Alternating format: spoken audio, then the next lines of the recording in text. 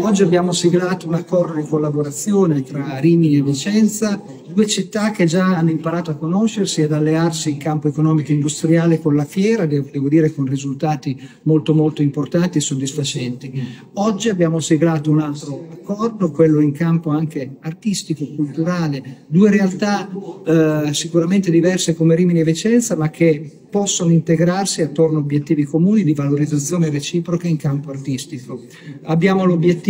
sicuramente già di mettere a terra una serie di collaborazioni eh, che possono dare opportunità sia ai vicentini ma quanto ai riminesi anche di visitare le reciproche città e i rispettivi territori, ma anche l'obiettivo di creare delle grandi mostre internazionali che sono frutto di eh, collaborazioni tra queste due città che hanno già dimostrato di sapere fare grandi cose assieme.